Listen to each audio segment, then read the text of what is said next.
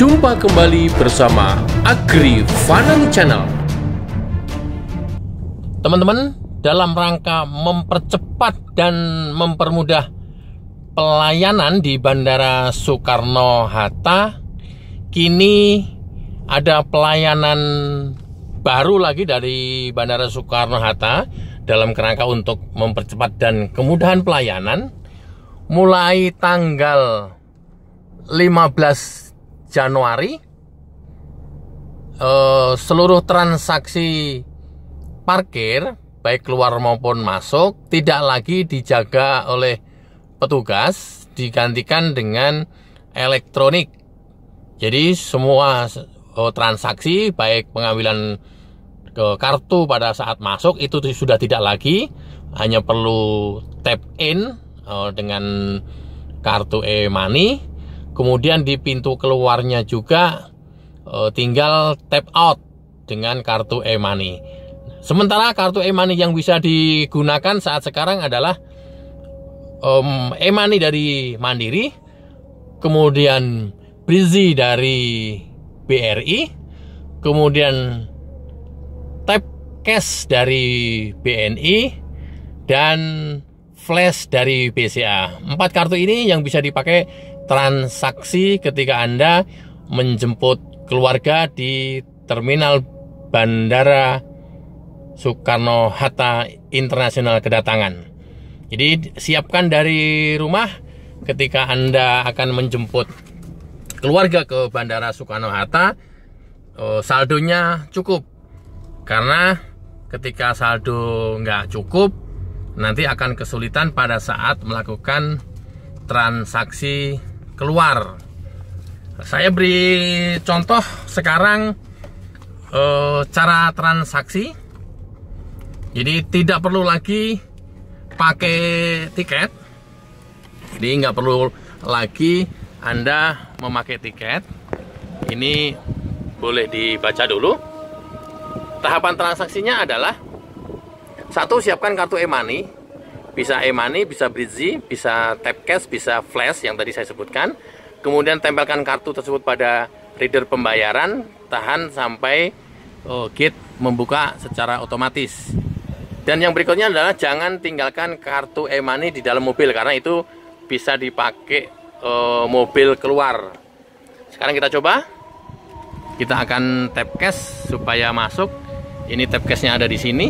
Jadi tidak sorry, tidak lagi pakai oh, oh, tiket. Ini kita tap S.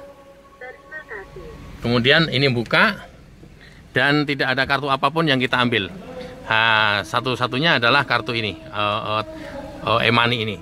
Atau Brizi ini. Brizi ini juga nanti yang bisa dipakai keluar dari parkir. Ketika Brizinya uh, atau ini misalnya saya sebut ini mandiri Mandiri Emani ini. Mandiri Emani ini nanti yang bisa dipakai keluar. Jadi nggak ada kartu apa pun, nggak ada tiket apa pun. Adanya pakai Mandiri Emani ini. Sekali lagi hati-hati, ini harus tetap dibawa, jangan ditinggalkan di mobil sebagai uh, ganti kartunya ini. Oke, saya akan tunjukkan nanti kita keluar transaksinya pakai um, mandiri, ya. Jadi nggak ada lagi uh, petugasnya di sana nggak ada lagi transaksi uang cash. Jadi teman-teman yang akan dijemput oleh keluarganya di Bandara Soekarno-Hatta siapkan saldo e-money keluarga Anda. Saldonya cukup. Karena kalau tidak cukup rada bermasalah ketika nanti keluar. Dan sekali lagi kalau keluar tidak pakai kartu yang sama sama nanti juga tidak bisa keluar juga. Harus tetap pakai kartu yang tadi kita pakai masuk. Oke teman-teman. Ada satu lagi. Fasilitas dari Bandara Soekarno-Hatta di area parking ini adalah lot parking. Itu dilengkapi dengan sensor. Fungsinya adalah sensor ini juga yang mengontrol kapasitas parkir jadi parkirnya penuh atau masih ada uh, space atau masih ada area yang bisa uh, menampung parkir adanya di load sensor ini. Nah, load sensor ini ini saya tunjukkan ke teman-teman. Ketika tidak ada mobil di bawahnya, dia akan menyala biru seperti itu biru. Ketika ada mobil di bawahnya, dia merah. Artinya ini eh, di yang merah ini adalah langsung dikirim ke dashboard dan di dashboard itu akan menunjukkan uh, uh, jumlah atau kapasitas mobil yang sudah ada di dalam. Nah, ini contohnya. Ini di di bawah nggak ada mobil itu biru, tapi kemudian yang di bawahnya ada mobil itu merah. Nah, data ini yang akan mengirimkan ke dashboard uh, sebagai data uh, slot parkir atau sisa slot parkir. Saya ambil contoh yang dari depan, yang yang kelihatan. Misalnya ini, uh, coba perhatikan ada lampu nyala biru. Ini parkirnya kosong di bawah. Uh, dia akan nyala biru. Kemudian yang merah, nah di bawahnya ada uh, mobil parkir. Artinya secara slot parkir dia keisi. Jadi nanti di dashboard uh, tampilan depan kapasitas parkir itu masih ada slot kosong berapa itu semuanya ter, ditampilkan Inilah kecanggihan dari parkir gedung parkir terminal 3 domestik internasional Bandara Soekarno Hatta. Dengan kecanggihan ini mudah-mudahan seluruh area juga dilengkapi CCTV. Mudah-mudahan seluruh aktivitas e, dipantau dengan baik dan sempurna.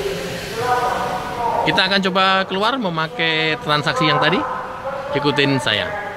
Oke teman-teman, sekarang saya akan keluar di gate parkir yang tadi saya bilang oh, tidak perlu transaksi apa pun, hanya perlu oh, tap out.